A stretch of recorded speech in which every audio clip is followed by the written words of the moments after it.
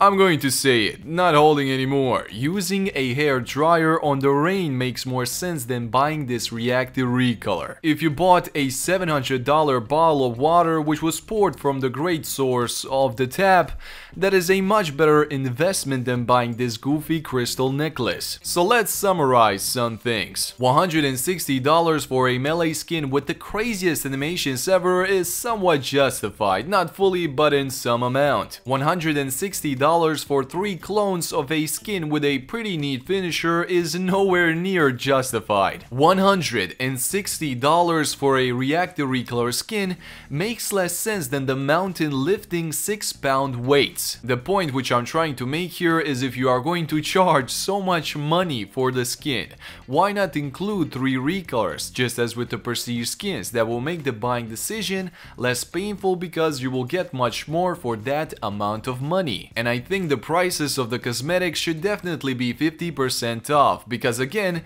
it's a recolor, paying full crafting price for 40 emotes to get one recolor is just not right. We need to admit, if this reactive recolor trend continues, so many events are going to be infamous, so hopefully Respawn will make some good changes.